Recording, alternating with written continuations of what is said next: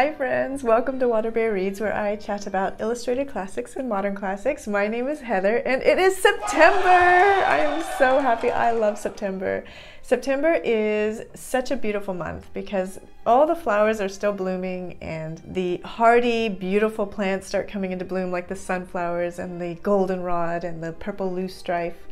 And then later on in the month, the apples are ripe for picking and it is just a mixture of so many beautiful colors with some of the leaves already beginning to change, but yet there's still blooms. It's such a beautiful month. Later this month, we'll do apple picking and enjoy a corn maze at one of our local farms. And it's just splendid. It's just such a wonderful time. All these thoughts of sunflowers and corn mazes and such put in mind a book that I always feel is a great book to read this time of year, and that is The Wonderful Wizard of Oz by Frank Baum. And I thought that I would jump on here and share my collection of illustrated Wonderful Wizard of Oz's with you guys. A couple of years ago, I did an Illustrator Explorer and put it on my website, and I've been doing an update. I've um, acquired a few new versions and I've added those versions over the last couple of weeks to my website. So I'll put a link in the description box for those of you who want to see more Wizards of Oz that I haven't shown you here. For those of you who are new to my channel, I enjoy as a sort of hobby collecting various versions of classics and doing blog posts about all the versions that are out there that you can purchase. I don't buy all the books. A great many of them I source from my library but what inevitably happens when I do these Illustrator Explorers is I tend to fall in love with the books when I'm reading about them and learning about them. As you tend to understand something, then you tend to fall in love with it, and that happens to me all the time. I felt it was really good timing for this video because Wicked is coming out later this autumn, and I also thought maybe some of you out there might want to reread The Wizard of Oz or buy a version for your children or your grandchildren and so I just thought it would be a great time to do this video. I have vintage editions, brand new editions, adapted versions, condensed versions to show you. Well, let me get to the books. I ran out to Starbucks. I'm having a green matcha latte because it's green. I thought it would be appropriate. I'm going to take a sip and we'll get started. I thought I would just begin at the beginning and show you the original version of The Wizard of Oz by W. W. Denslow. William Wallace Denslow and L. Frank Baum had been working together already, and I believe it was the Father Goose book that really made a name for L. Frank Baum. When L. Frank Baum wrote The Wonderful Wizard of Oz, they continued their relationship, and William Wallace Denslow, or W. W. Denslow, illustrated it for him. When W. W. Denslow and L. Frank Baum were having this published, the publisher said they could not add color to the book, it would just be too expensive, unless they paid for the color plates themselves. And so Denslow and Baum paid for the color plates and really fought for color in this version. Color is such a big part of The Wizard of Oz. It had to be published that way. If you know the 1939 film by MGM, they used color to pioneer the use of um, Technicolor in movies. And the first time I saw this one, I did not expect it to look so adorable and actually quite modern. I was very impressed. W. W. Denslow and L. Frank Bauman unfortunately had a falling out, and so this is the only one of the Oz books that W. W. Denslow illustrated. I believe the issue was over rights. They shared the rights to The Wizard of Oz. I believe Denslow went further with it and created some books about the Scarecrow and the Tin Man. And then there was also a theater production, and I'm not really sure exactly what happened, but there was some disagreement about rights.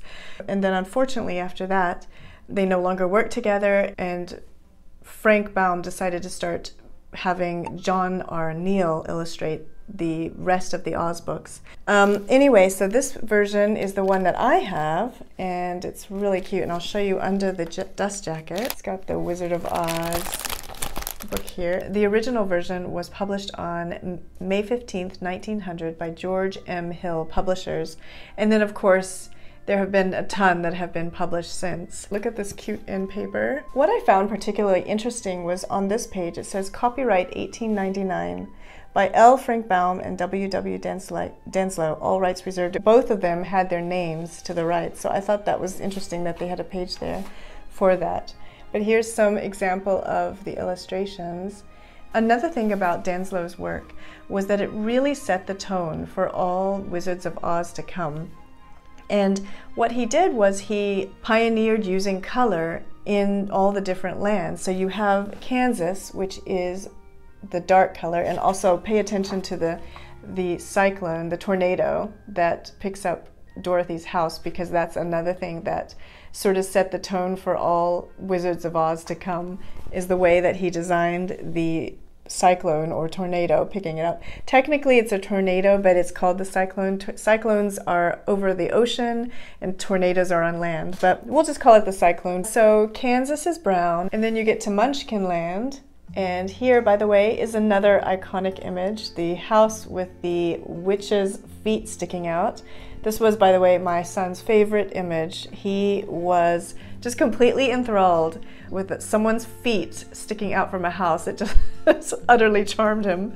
I think that's an image that really speaks to kids' imagination. Here's another one with the scarecrow, with the crows it's just, see how gorgeous they are? And you get to the poppy fields and the color changes. I think it's supposed to be red, but it was just the colors that were available at the time. And then you get to the outskirts of Oz and everything becomes green. And here we are in the land of the Winkies, which is yellow.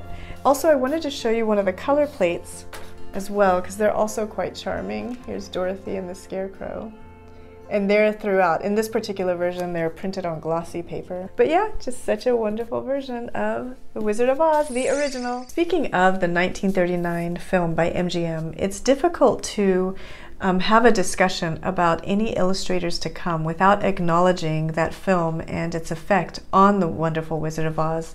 The Wizard of Oz film with Judy Garland came out at a time of great insecurity. It came out in theaters a week before World War II was declared when Germany invaded Poland. The Wizard of Oz movie was released on August 25th, 1939. And the movie is so iconic in so many ways, but I think its biggest achievement was in how it inspired hope for people at the time when when everything was looking a bit dark. We had just come out of the Great Depression too. And the movie just inspired so much hope with its songs of Somewhere Over the Rainbow and its overall message. And I know a lot of people give the movie credit for being the first time movie was made in color, but that's not actually true. There were a few other examples of movies that had been made in color. Snow White, for example, was the first animated film that had been color, Disney's version of Snow White, and that had come out, I think, two years before in 1937. Um, but it was the first time that people really saw what you could do and what you could achieve with the use of Technicolor and changed the way that movies were made forever thereafter. But anyway, this whole discussion is so that I could introduce the first illustrated version to come 44 years after the original. Um, and that is by Evelyn Copelman. And the version I have here is the Illustrated Junior Library Edition. Um, but it was first published in 1944, and you can definitely see the influence that the movie had on the illustrator, which is no wonder because in 1944 we were in the throes of World War II, and the publishers wanted to continue that message of hope that the uh, movie had established.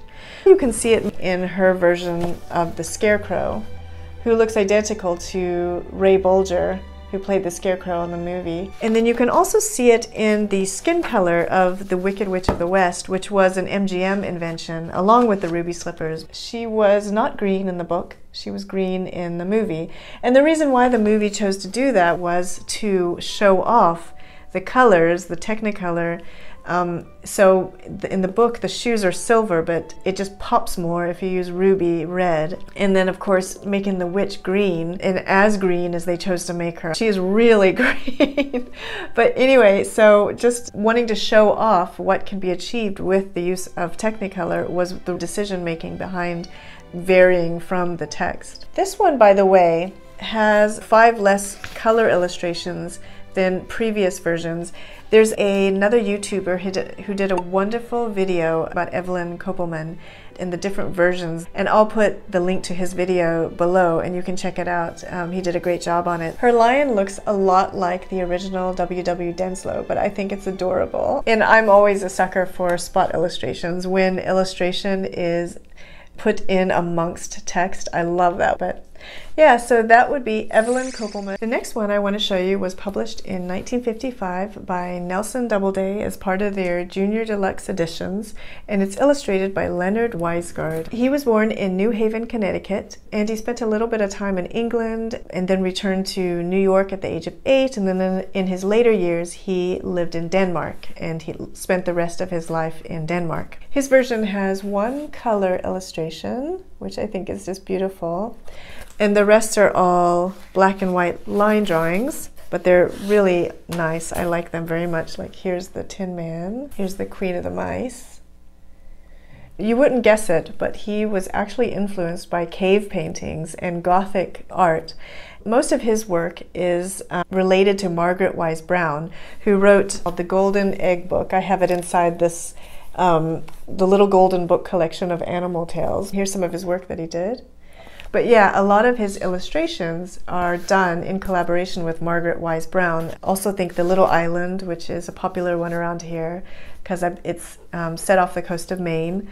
He also has um, a version of Heidi out, and he's the illustrator for The Courage of Sarah Noble which is a wonderful book. I read it a couple of uh, years ago and I thought it was really good. And this is one of my favorites, and it was published in 1957 by Libico Maraja. Libico Maraja is from the Italian speaking area of southern Switzerland.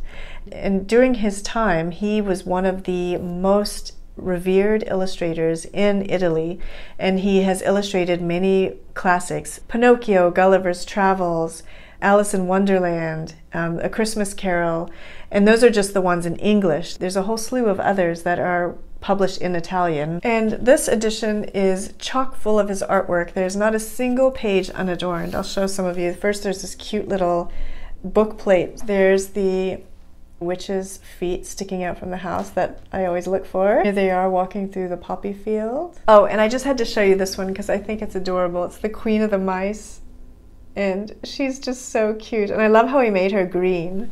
And then here's his version of the Wicked Witch of the West. And one of the things I didn't tell you guys before is that in the book, there's a description about how Dorothy is dressed. And when she gets to Munchkinland, she runs back into the house and she puts on her blue gingham dress. But then when she gets to Oz, she is dressed in in green, which we know as we read through Wizard of Oz that everyone was wearing green glasses. And so I think the general consensus is that the material was actually white that she was wearing after their first visit to the Emerald City. But yeah, this is just a splendid version. If you're going to go vintage, I would go with this version. If you want vintage, if you want color, this version by Maraja is a perfect one to go for. So yeah, that's 1957, Maraja. So The Wonderful Wizard of Oz entered public domain in 1956.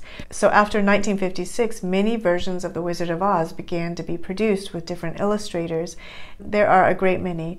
But going back to 1957, and a very special version, one that my grandparents had in their home, is this version illustrated by Russell H. Schultz, another illustrator who I had a time figuring out any information about. And the illustrations are one or two per chapter, but they are only in one color, green. Here he pays homage to W.W. Denslow's illustration with the tornado picking up the house. I just think they're really beautiful. Dorothy here is a blonde, as was in the in the Mirage version as well. And here's a scene from the end with the Cowardly Lion. What's really nice is when you actually read the book, there is so much more to it. There's, of course, backstory about the Scarecrow and the Tin Man and the Cowardly Lion, but there's also examples of when each one of them had to show that what they were searching for and what they were going to see the wizard about, they already actually had. And um, you see examples of it both in the beginning, before they get to the Emerald City, and then you see it as well after they tackle the Wicked Witch of the West. And I find that just wonderful that they're looking for something that they already have, you know. And this version will always be special to me. And it is the version that I read to my son when he was four years old. And we turned around and reread it as soon as we were done. I picked it back up and reread it because he loved the story that much. Moving along in 1963, published by Grosset and Dunlap as part of the Companion Library series, is The Wizard of Oz, illustrated by Anna Maria Magagna. And I don't know if I'm saying her name correctly. I try to make up for it by putting the names of people on the screen. And her illustrations are wonderful. She did leave the blue gingham on for the entire story on Dorothy. And also, I will say it's um, a little sparser illustrated than um, some of the other versions that I've picked up. But nonetheless, her illustrations are beautiful. So here's when Dorothy meets the Scarecrow for the first time. And here you can see she's wearing her blue gingham when she confronts the witch with a bucket of water. It's a really pretty version. I really like these and I really love the spine as well. And what's remarkable about Anna Maria Magagna is that she not only illustrated many children's classics, I think Five Little Peppers and How They Grew, Little Men, as well as Little Women. She was in the fashion industry. I just think that this is a wonderful version and beautiful and I know this is one of the prettier vintage versions out there too. I love this cover. The 1980s version that I think is sort of iconic for kids who grew up in the 80s and 90s is the Wizard of Oz illustrated by Michael Hague. In looking through this, it's difficult to understand why it took um, upwards of five years for Michael Hague to actually um, get a job as an illustrator. He really struggled. When he did eventually get hired, his illustrations would sometimes be altered without his consent. It was just a rough ride for him.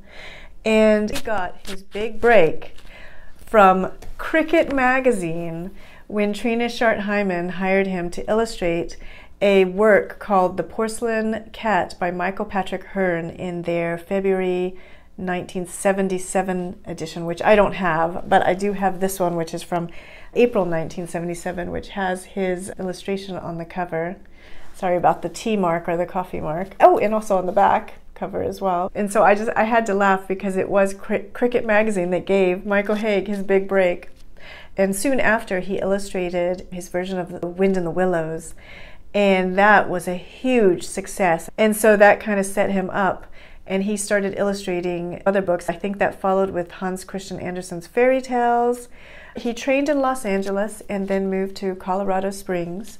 And he spent about a year planning this version of The Wizard of Oz. He wanted to do something different. He wanted to create something totally unique. And I think he did a wonderful job. Let me show you a couple. Of course, there's these end papers which are lovely. One of the things I really love is that the Scarecrow is sitting here reading his version of Hans Christian Andersen's fairy tales, which I thought was really cute. Here's an interesting perspective, and he is one of the first illustrators to put that cow in the background.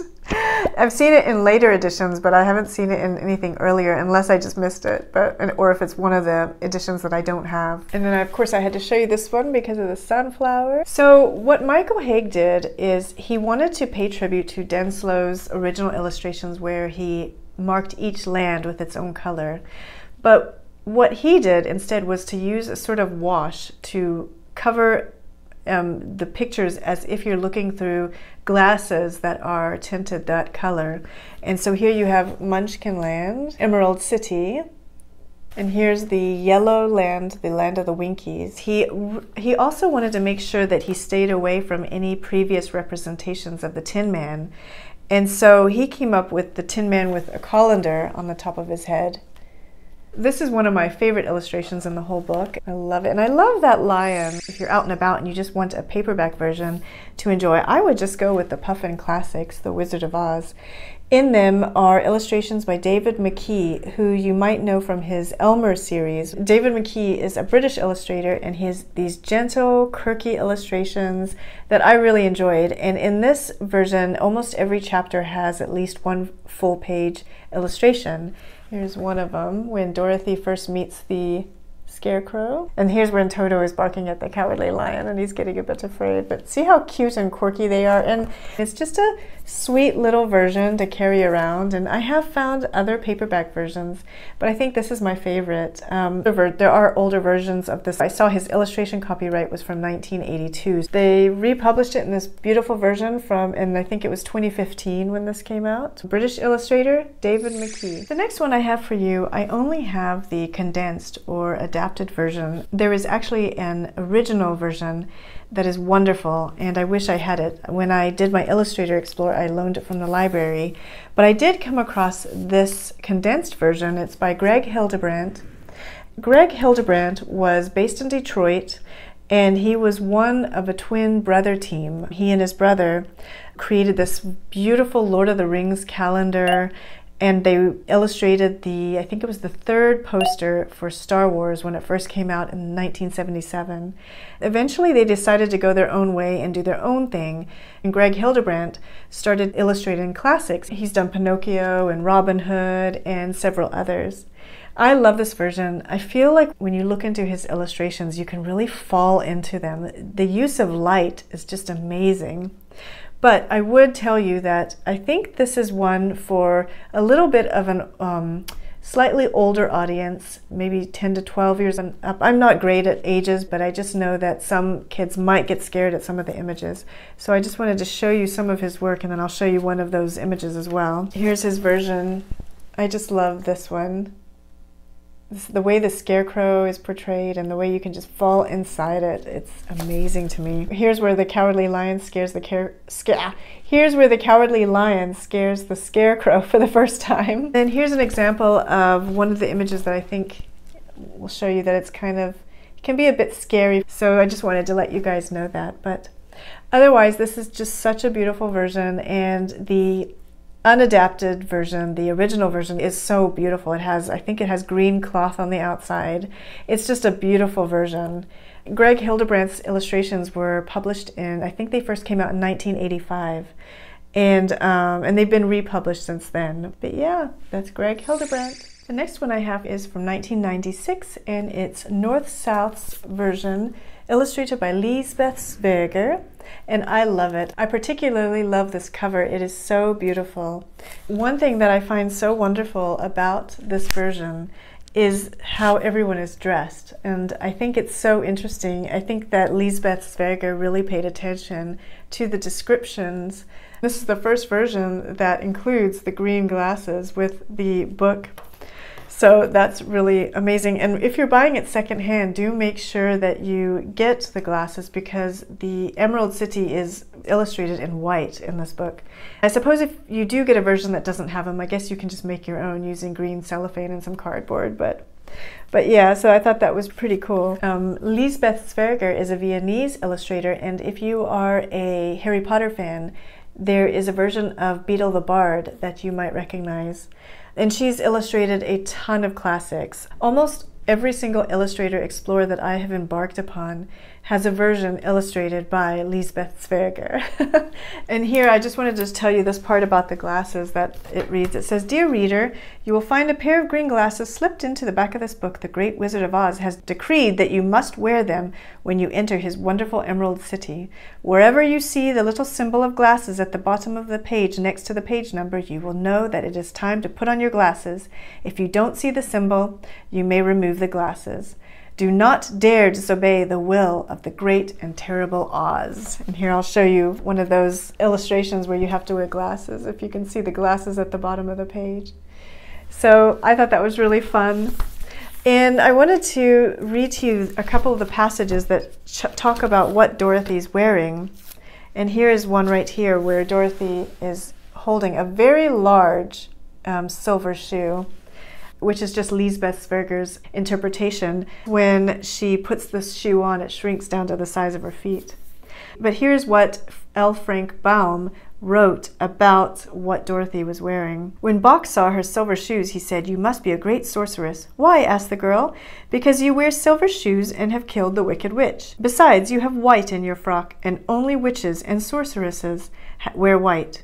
My dress is blue and white checked, said Dorothy, smoothing out the wrinkles in it. It is kind of you to wear that, said Boq. Blue is the color of the Munchkins, and white is the witch color, so we know you are a friendly witch. I thought that was very interesting how L. Frank Baum uses clothing in his work. Here's a picture of the scarecrow. I just love her style. It's so different. I love the use of perspective in this one when they come across the Tin Woodman. I wanted to read one more passage that chats about when they got to the Emerald City, how they changed clothes. The next morning after breakfast, the Green Maiden came to fetch Dorothy, and she dressed her in one of the prettiest gowns, made of green satin. Dorothy put on a green silk apron and tied a green ribbon around Toto's neck, and they started for the throne room of the Great Oz.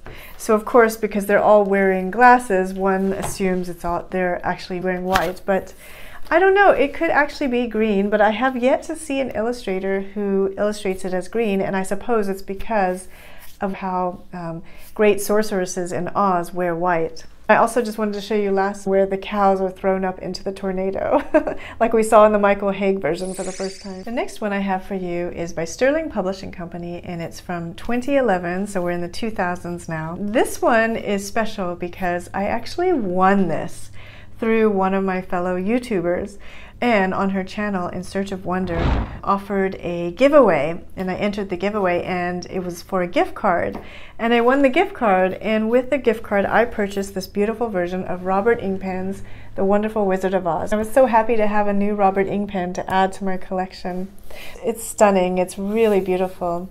I love everything about it. I love the in papers. I also found that this one is very interesting because not since evelyn copelman at least not of the versions that I have, anyways, that illustrated the Wicked Witch of the West in green, and he returned to the green version. And I really just love this witch. One, one of the things I also love about the Robert Ingpen versions, uh, there's always an, art, um, an author bio at the front, and I wanted to read a little bit of it. In an inscription to his sister, Frank wrote, I have learned to regard fame as a will o' the wisp, which, when caught, is not worth the possession. But to please a child is a sweet and lovely thing that warms one's heart and brings its own reward. I hope my book will succeed in that way, that the children will like it. I thought that was really cool that he wrote that. Kind of gives you a sense of the man. Frank Baum, by the way, was very much like the Wizard of Oz. He was moving from career to career, and it wasn't until his 40s that he first wrote The Wizard of Oz. And it, and followed it up with many, many versions uh, based in Oz as well as other books. We've um, actually read one of his other books, The Sea Fairies. Um, my son and I read it, and I quite enjoyed it. I mean, it isn't The Wizard of Oz, but it was really neat, and it was cool to read a adventure story with mermaids set in the ocean. But anyway, I just wanted to show you some of the illustrations. I love this interior. And one of the things I also love about this version is that it shows the metamorphosis of the Tin Man. It does it in the Lisbeth Zwerger edition and also in another edition I'm going to show you, but this one I feel is my favorite transition from man to Tin Man. So I thought that was pretty cool. This is one of the most beautiful spreads in the book. I love this one. Here's the Emerald City. But yeah, just a beautiful version. And I just want to say thank you, Anne from In Search of Wonder. Thank you so much. I felt so lucky to win it. I had to laugh.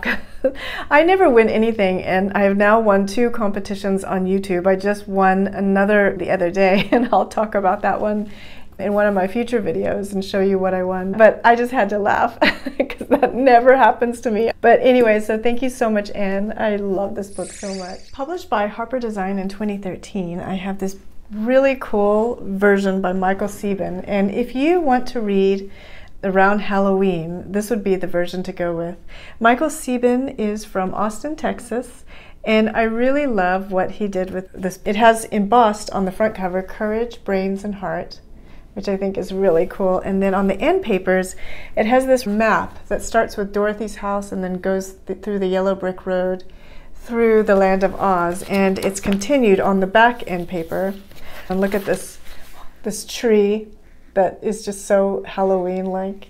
But yeah, so if you are wanting to read The Wizard of Oz around Halloween, this is a great version. Here's that wonderful shot of the house on the witch's legs. The field mice queen, the haunted forest. I don't know if you can see it, but there's the colors set throughout Oz he follows the example set by W. W. Denslow, dividing the lands of Oz into the different colors. So, just a really great version, especially if you're reading it around Halloween. Published in 2016 by Seven Seas Entertainment, we have this manga version of The Wizard of Oz. It also includes The Marvelous Land of Oz, the second book, which hasn't received as much illustration attention as its predecessor, which is a shame because The Marvelous Land of Oz as well as Ozma of Oz are both really good, with a slew of amazing characters that you might know if you've watched uh, the movie Return to Oz. That movie has bits and pieces of the book um, combined in the movie. Does that make sense? this wonderful map of Oz which is nice because it also includes the Gillikin country at the top, which is never spoken about much, if at all, in The Wizard of Oz. But I guess that's the purple color. Some more wonderful illustrations. Here's some more. The color illustrations are just at the beginning. The rest of the book is full of black and white illustrations, but they're just as cool. I really like them. They really modernize the text, which I think is wonderful. And there's the house with the witch's shoes. I love this one when they're in the poppy field. If you have a kid who you'd love to start on classics, who loves manga, this one might be a good version to go with, as well as other manga classics. Whenever I do these Illustrator Explorers, I inevitably come across a version that completely surprises me and I came across this one published in 2017. It's the Canterbury Classics version, and it's The Wonderful Wizard of Oz, illustrated by Sherry Zamazing. She's a British illustrator.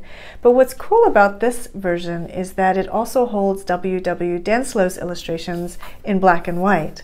So you'll have many of his illustrations throughout, and then you'll have Cherry Zamazing's illustrations. And I just think they make a perfect combination. Let me show you some more of her illustrations. It really pops quite nicely and is quite beautiful. There's another one of the Cowardly Lion. I love his red mane in this one. One of my other favorite depictions is the poppy field. So this is a beautiful one bound in cloth and has these red sprayed pages and very nice, very surprising version that I was just very happy to find. I have one more unadapted version to show you, and it is my MinaLima, the Wonderful Wizard of Oz, which is a huge favorite. This one came out in September 2021. If you're a fan of paper engineering, you will really like their series. MinaLima is a team of two illustrators. One is Miraphora Mina, and the other one is Eduardo Lima. They worked on the Harry Potter films and they've been coming out with some wonderful versions of Harry Potter as well. But I particularly love their classics. Their latest one, I think, was Snow White and Other Tales by Grimm's that came out last year, and I am chomping at the bit waiting for their next classic. I love what they did with The Wizard of Oz. Here's their version of the tornado, and then I love how they dressed Dorothy, and she looks so different from all other Dorothys. They also stayed with the Denslow colors. I mentioned at the Robert Ingpen that there was an evolution of the Tin Man, and here's their version, which is also very charming and cool. Oh, and I forgot to mention that this one also comes with green glasses. Oh, everything's so green. Their version of the witch not green. And I wanted to show you one of my favorite paper engineering pieces is this one where Dorothy's silver shoes and she has to knock them together to get home.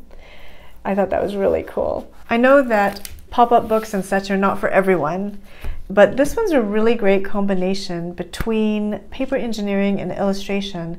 And the paper engineering is not so intense that it really adds too much bulk to it or makes it difficult to read when you're at home.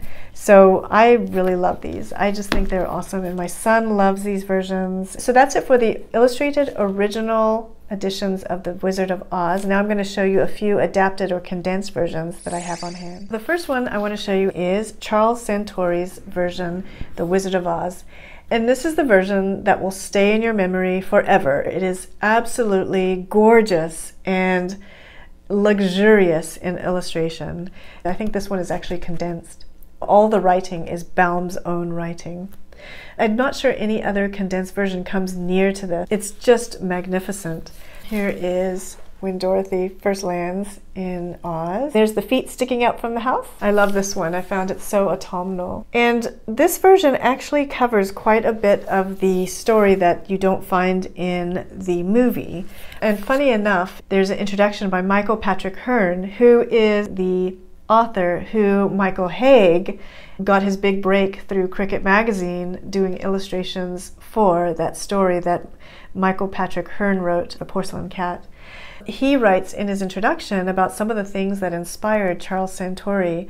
And one of them I was delighted to find was the works of Antoni Gaudi. We went to Spain a couple of years ago and we visited his works. We were in Barcelona for a few days and I wanted to show you them so that you could see. I picked up this book, uh, Stroll with Gaudi, when we were at the Sagrada Familia gift shop. This is at Park Güell and then there's the guardian here. They call it the dragon, but technically I think it was a salamander. And then there's that sort of that structure behind him. And then on this page is Casa Milà. You can see exactly that in his version of the Emerald City. So the undulating side edges, and then here's the guardian of the gate with that structure behind him. I thought that was really cool um, to know that Antoni Gaudi played such a role in inspiring Charles Santore when he did his, his artwork. Speaking of Barcelona, the next one I wanted to show you was a gift from my good friend Erica, who, by the way, also gave me the MinaLima version. so thank you, Erica, if you're watching this. But it is the Julia Sarda version of The Wizard of Oz. Julia Sarda is based in Barcelona. I love the cover and how it reflects. It's so beautiful. I love her artwork. I've shown you guys her artwork before in Mary Poppins. She's one of my favorite illustrators. Here we have the house with the witch's feet sticking out. When Dorothy discovers the scarecrow. I just love that scarecrow. The Wicked Witch of the West, and she has green skin. She has Dorothy back in the white satin. It includes the Kalidahs, it includes the dainty China country, it includes the spider beast that has to be overcome, it includes the monkey's golden cap. These are all elements of the story that often get left out of adaptations, and so I just wanted to let you know that they are included. The Little Golden Book version by Don Turner and Don Turner, it's another one of those illustrators that I had a hard time figuring out anything about him, but I did see that he illustrated a version of Pippi Longstocking that I'll pop up on the screen. But I loved that the author, Mary Carey, called the cyclone a tornado in her writing. I had not seen that before. Most people stick to the cyclone naming. The illustrations are kind of wonderful. So anyway, just wanted to quickly pop in and show you this one before I went on. The final one I want to show you just came out in February and it is Italian illustrator Paolo Barbieri's version of The Wizard of Oz. I discovered this one from one of my Instagram friends, Semper Lux. She is, like me, someone who loves classics and loves illustrated classics. Paolo Barbieri does a lot of fantasy illustrations and you will see a lot of his artwork on countless covers. Among the people that he's created covers for are Michael Crichton, Ursula K. Le Guin, and George R. R. Martin. And his artwork is just amazing. Here is the tornado I thought was cool that he had bits of green in there. Here's the Scarecrow and the Tin Man carrying Dorothy out of the poppy field. There's the Queen of the Field Mice. Very interesting depiction of her. There they are in the Emerald City with their glasses on. Here's the Dorothy with the Wicked Witch. And her skin is actually not quite green. He kind of left it up to the reader. Her skin is actually normal colored, but the green light makes it green in certain situations. So I thought that was very clever. I thought this was interesting because the cowardly lion is depicted as somewhat of a man more than a lion. Some of the pages are sketched, so which I thought was really nice too. It states on the front that it has excerpts from the original version, but when I was reading through, it seems like it's more like just an adapted version. And it does include pretty much every part of their adventure. It doesn't leave out very much, if anything at all, that I've noticed. When I said lush worlds of fantasy, for example, when I showed you this one, if you look in the background, there's these shadows, these sort of stone sculptures or these heads in the background, like in the clouds or in the fog. You see that throughout the book, where you just have to look a second time. Well, that is it. I hope you have enjoyed all these illustrated versions of The Wonderful Wizard of Oz. Let me know in the comments which version you read as a child, or if you have a particularly nostalgic attachment to one of those that you read from your childhood. Let me know. I'd be so curious to hear. If there is a version that you did not see in this video, do check out my website because I have more versions um, there that I just don't own. There are a couple that I would really like to add to my stash. One is from Michael Foreman, and the other one is from B.S. Biro. I, am not sure how to say that name, but I would love to add those two older additions to my stash as well at some point. I also wanted to tell you that I noticed a version by Victor Tavares that will be publishing in November and it's really cool because the I'll pop up a picture of it but the edges are sprayed to look like the yellow brick road which I thought was really neat. I've come across Victor Tavares's work when I did my uh, Beauty and the Beast Illustrator Explore on my website and um, I really enjoyed his adapted version of The Beauty and the Beast. As usual, the links are in the description box below. I hope you have a wonderful week full of courage, wisdom, and heart, and I will see you next time. Bye.